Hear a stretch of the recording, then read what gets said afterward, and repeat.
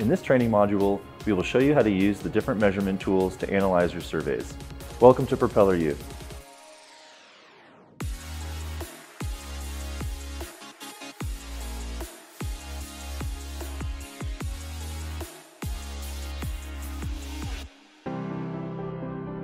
From the home page, you can select your desired survey by clicking on the pin on the map that corresponds to that survey's site or select it from the list.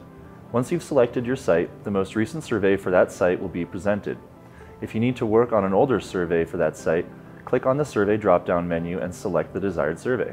Once you've selected your survey, the different tools you can use will load. The Measure tab is selected by default. To create a measurement, click on Create a Measurement. A list of templates will appear. To use any of those templates, click on select, or click on the image for that template. You can also filter the available templates by job task. There are four main categories, track progress, calculate volume, site check, or custom. You can also filter the available templates by measurement type. The three options are point, line, and polygon. Keep in mind that some templates will only be useful when you have historical data since they make comparisons between multiple surveys. In this example, we'll use the point measurement type and the elevation history template. This template will track the change in height of a specific point over multiple surveys. To use it, click Select or click on the image. Once you do, click on any spot in the model where you want to know the historical elevation difference. The viewer will show a chart with the elevation differences for this point across all available surveys for this site. You can give this point measurement a name and click Save. It will be yellow by default. To change the color, click on the yellow circle and a list of different available colors will appear. This feature allows you to keep your different measurements better organized. You can use different colors for the different measurement types you will be doing. You can also click on the template drop-down menu if you want to use a different template. Below you'll see the coordinates for the point you created. The coordinates are based on the coordinate reference system that the site is using. You can also add a more detailed description to this point. Remember, if you enter a description, you must click Save. Below the description box, you can also add or edit the information that is presented. To move an item from the measurement, click the trash can icon on the list of items being used. To add an item, drag it from the list of the items on the right and drop it in the available items list on the left. Next, let's take a look at the line measurement.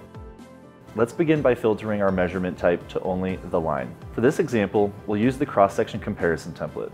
Measuring cross-sections is a common practice on work sites. This template allows you to view a cross-section of one or more designs of your survey surfaces along a specific line.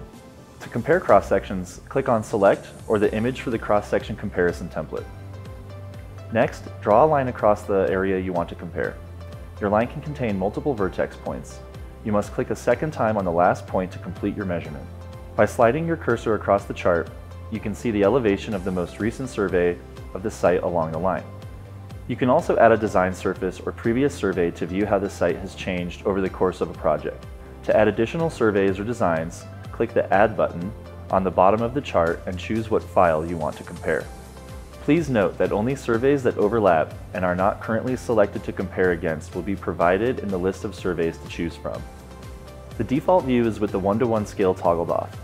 This shows a more exaggerated and detailed elevation change. It's useful when creating roadway cross-sections or conducting bench analyses as part of in-pit operations, for example. Toggling on the one-to-one -one scale makes it easy to view the cross-section with a true representation of the surface, provided by a vertical and horizontal scale. As you can see, using our measurement tools is pretty simple. Now let's look at our most commonly used measurement type, the polygon. For a polygon measurement example, we'll use the basic volume template. This template will measure the volume of material within a polygon. To get started, filter by the polygon measurement type and scroll down to the basic volume template and select it. Next, find a stockpile you want to measure. Begin by clicking points outside of the area of the stockpile. You can add as many points to the outside of the stockpile as you wish. To get accurate stockpile volumes, we recommend you use at least 10 points for your polygon. Once created, you need to select one of the volume options by clicking on the Choose a Measurement Type drop-down list. Let's briefly discuss the difference between the options. Smart Volume interpolates a base from the surrounding terrain using the selected points. Reference Level Volume Measures from a horizontal plane based on a defined reference level. Survey volume compare. Calculates the volume using a previous dataset or imported design surface as a base. Design volume compare. Calculates the volume between two design surfaces. Custom base volume. Customize the base from which a volume is measured by adjusting the elevation of each vertex point. In this example, we'll select the smart volume. The results will be presented in three sections, the cut, net, and fill. For the smart volume, the cut is the volume above the base level.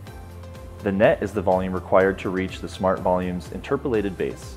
Lastly, the fill is the empty areas below the base level. On the viewer, you can also change the view of your polygon. You can select 3D cut fill 2D cut fill, or contours. Below your results, you can also make use of the built-in calculator to enter the tonnage or density values for the materials you're measuring. You can also change the default values for the heat map. If you do make a change, make sure to click Apply for the changes to reflect on your viewer. Just like the other measurement types, you can also add a detailed description of the measurement you create. To learn more about the different volume measurements, check out the supporting documentation associated with this module or visit our knowledge base, help.propelleraero.com. Now that we've covered how to use the different measurements, let's talk about the bookmark function and promoting a measurement to the site level. Any measurement template you use can be bookmarked.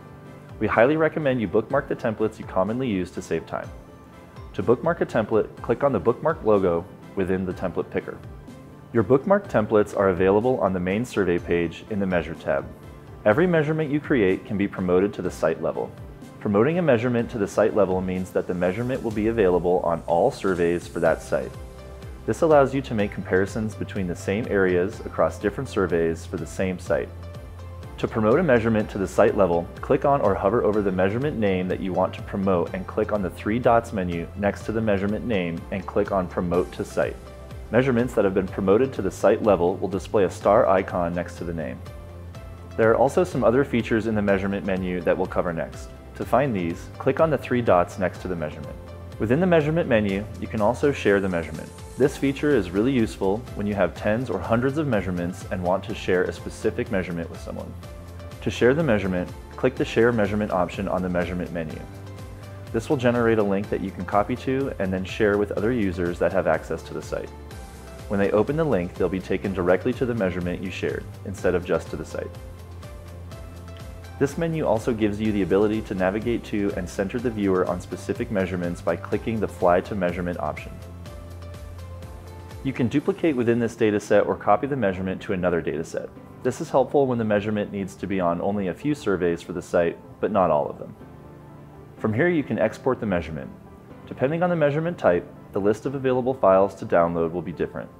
For polygon measurements, you'll get the option to export a DXF, KML, or point cloud.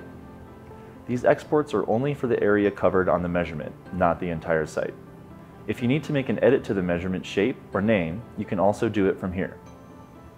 If the measurement is no longer needed, you can delete it. Now that we've learned how to use the measurement tools, let's review some best practices on how to keep your site organized.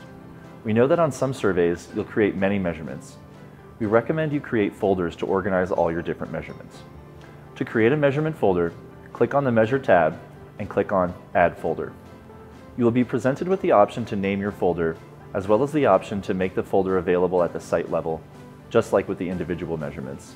Once the folder has been created, you can add multiple measurements by selecting them and using the Move To option at the bottom of the screen or by dragging and dropping the selected measurements to the desired folder.